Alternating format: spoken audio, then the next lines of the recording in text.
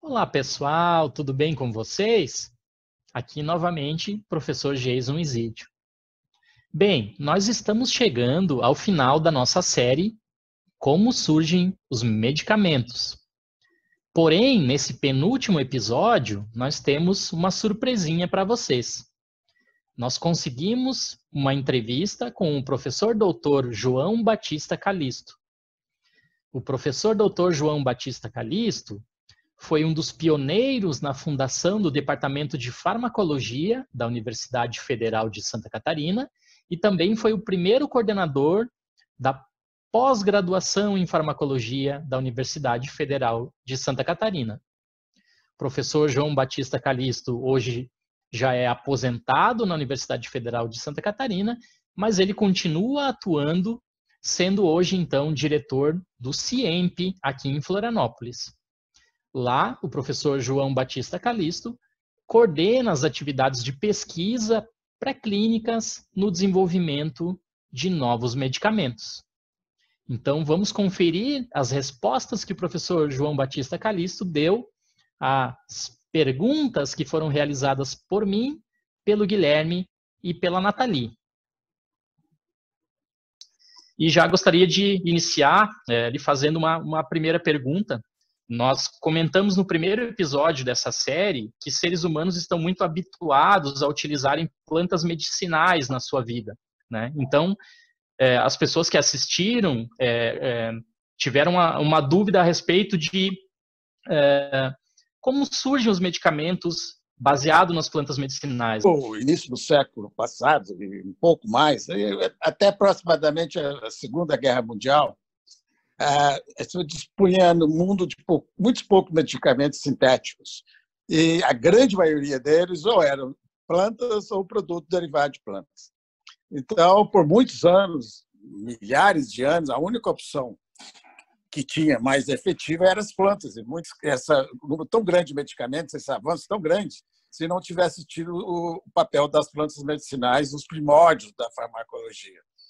E produtos como a morfina, aspirina, é, os digitálicos, os, é, a própria quinidina, agora que está no auge aí do produto, que deu a hidroxicloroquina, que vem da quinina. Esses são exemplos de como a evolução terapêutica moderna, que é feita na base de química medicinal e, e baseada em, em alvos terapêuticos. Então, a questão da quinina é, que deu origem ao alcaloide, né, que dá nas plantas do Peru, e, e deu origem ao estudo inicial para tratar a malária. Depois, foi, esses estudos foram avançando e foram essa, essa alcaloide foi usada em outras terapias. Foi possível fazer derivados que hoje nós temos a, a própria cloroquina e a hidroxicloroquina. Esses são entre centenas de exemplos que a gente pode citar, mas esse está mais dentro do, momento atual. Bom, professor, Sim. a minha pergunta é sobre como foi o desenvolvimento da Cheflan e se o senhor fez mais algum medicamento aqui no Brasil também. É, pois é, esse foi uma história de sucesso no Brasil e trabalhando com plantas medicinais. O Acheflan foi uma ideia do laboratório Acher, saiu de uma proposta de um grupo de trabalho na época mais ou menos no final dos anos 90 e a ideia era desenvolver um produto para uso top para tratar dor e inflamação. Esse foi um projeto, quer dizer, que teve, na verdade, o Achefran é um entre outros que foram desenvolvidos nessa cadeia de projetos.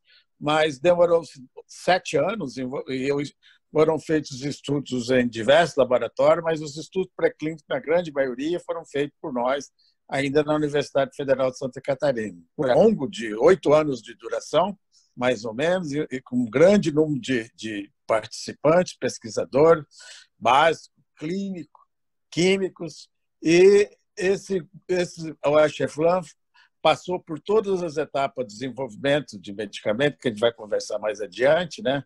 estudo pré-clínico, estudo clínico fase 1, fase 2, fase 3, e com quase mil pacientes, estudos clínicos, e foi aprovado no mesmo ano e desde 2005 a Cheflan ele é comercializado no Brasil, é o produto de referência na área de terapia tópica para dor e inflamação, é o, é o que mais vende.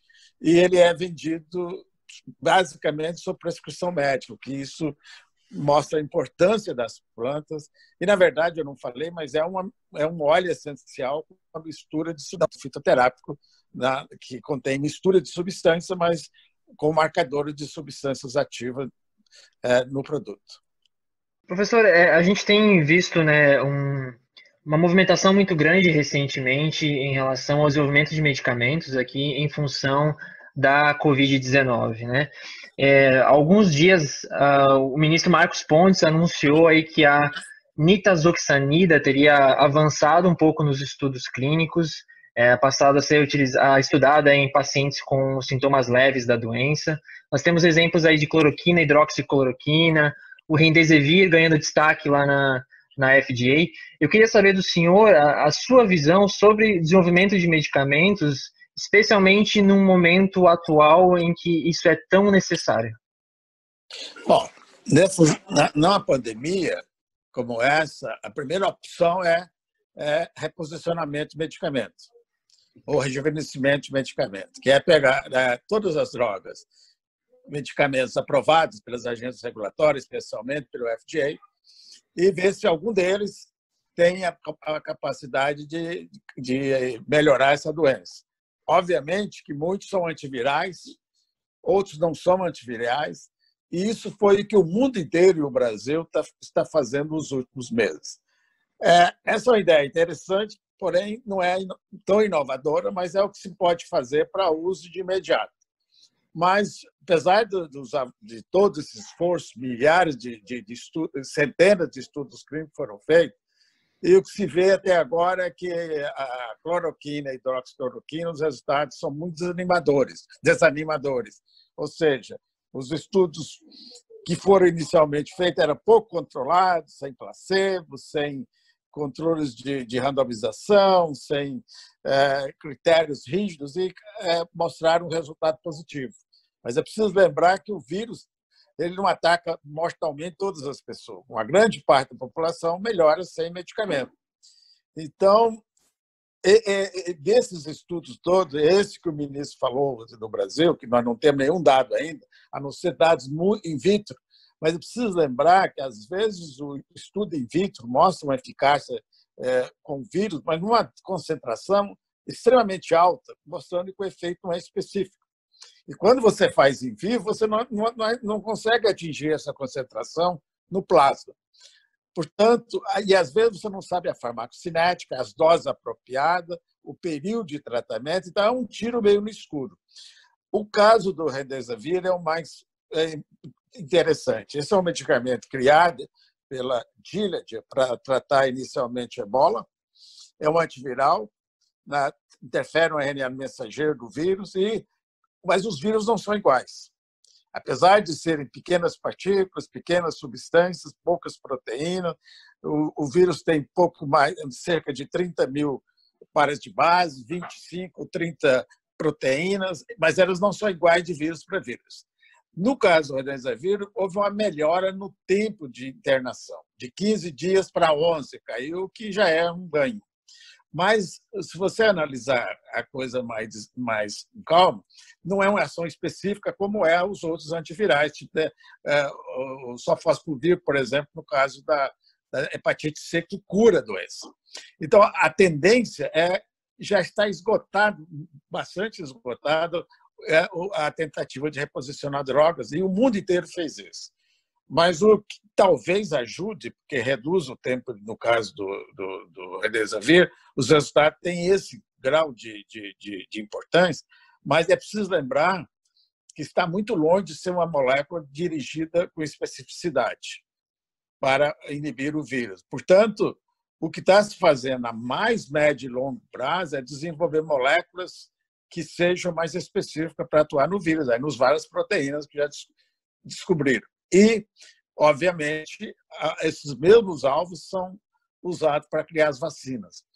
Então, na realidade, o que a gente tem visto ainda é muito trabalho, mas na prática os resultados ainda não são animadores, é, excetuando é, os resultados com Remdesivir.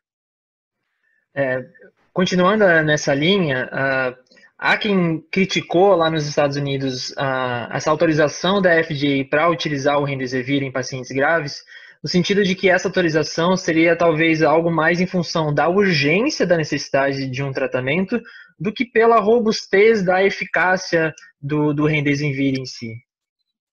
Pois é, isso é um ganho. Foi a, na falta de algo melhor, você tem uma, uma, uma, uma substância já aprovada, um medicamento que pode ser usado. Mas aí, nesse caso, a gente tem dois graves problemas. O primeiro problema é a produção em larga escala. A empresa que, que desenvolveu e o, o vírus não tem escala, porque o produto foi usado só no ebola. E o máximo que ela pode fazer até o final desse ano é um milhão de, de, de, de, de, de, de, de para tratar um milhão de pessoas, o que é nada, muito pouco. Segundo, ela, ela deu a patente para vários países para poder fazer desenvolvimento do país, mas excluiu o Brasil. Então, o Brasil está fora dessa patente, o produto não é registrado na Anvisa ainda, então o Brasil é considerado por eles um país capaz de ser competidor, mas na verdade não é.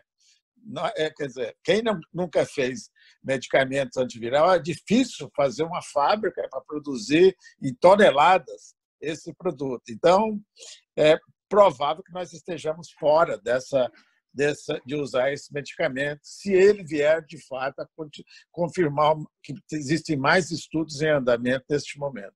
Interessante que o senhor comentou sobre a, a escala de produção, porque as pessoas que, que vão assistir a nossa conversa, elas vão uh, assistir também, elas, terem, vão, elas tiveram assistido alguns, alguns aulas que vão mostrar para elas outras dificuldades do desenvolvimento de, de medicamentos, né? A gente falou sobre o custo, né, que é na escala de, de bilhão, é, a, necessidade de provar a eficácia e principalmente a segurança. Eu, em uma apresentação minha, eu citei para eles os, os exemplos de os estudos de carcinogenicidade, de toxicologia reprodutiva, ou seja, existe uma infinidade de complicações, mas nós não falamos até o momento, e o senhor citou agora muito bem, a questão da escala que não basta você investir dinheiro, você ter um, um, medicamento que é eficaz, um medicamento que é seguro, se você não consegue produzir ele numa escala para tratar as pessoas. Pois é, isso não vale só para medicamento, vale para vacina. Todos já sabem que tem que ter mais de uma vacina, talvez três, quatro, para que se possa distribuir ao longo do, do, do mundo. E há outro problema aí, além da escala, é o preço. Se esses produtos não forem de domínio público, muitos países, talvez até o Brasil, não consiga é, comprar para massificar o uso na população. Então, o caso da vacina que está se estudando é, cai nesse problema. Dependendo da vacina, tem de RNA, tem de DNA, tem de é, partículas virais, tem vários tipos. A fábrica, o que precisa para desenvolver é diferente, os custos são diferentes. Então, é preciso realmente que várias delas caminhem para a parte clínica, porque a eficácia é um ponto importante, mas aí é que vem o grande problema, que é produzir em escala muito grande é, é, esses produtos. E dependendo da tecnologia que foi usada para fazer a vacina ou, ou o medicamento, isso é um desafio enorme. E pode levar muito tempo e, sobretudo, pode limitar vários países onde a tecnologia não atingiu esse nível que tem, por exemplo, Estados Unidos, o Japão e alguns países da Europa, que são eles que fazem todos os medicamentos. Então, o Brasil é, é, já é bastante debatido. O Brasil é, importa mais de 90% de todos os medicamentos acabados e dos princípios ativos, inclusive para fazer os genéricos. O que significa isso? Nós estamos ainda não fazemos os genéricos assim. Talvez não é questão nem de não, poder, não ter competência, questão de custo, mas agora chegou o momento que não tem a oferta produto para todos os países. Então, nesta hora, essa área de, é uma área crítica de segurança, você tem que ter essa capacidade de sintetizar, porque quem tem não vai te vender, como está acontecendo agora com os produtos de os equipamentos de, de, de proteção e os, e os respiradores. é uma história que pode se repetir com os medicamentos. Professor, quais são as dificuldades é. em termos científicos ou tecnológicos que o Brasil enfrenta justamente para deixar de ser esse importador de medicamentos e passar para um patamar de desenvolvedor de medicamentos? Pois é, esse não é, esse não é só, um, esse é um desafio enorme.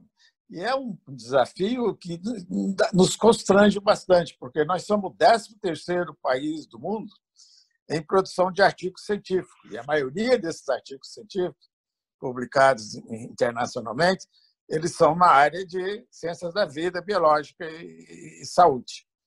Então, aí é uma contradição. Por que nós fazemos tantos papers, tantos formando, tantos doutores, e não conseguimos fazer o básico de uma, um, por exemplo, uma hidrocloroquina que está no mercado há mais de 100 anos, uma aspirina que está há 200 anos, então, isso, é, isso tem vários componentes. Uma parte é, é, é devida à, à, à academia.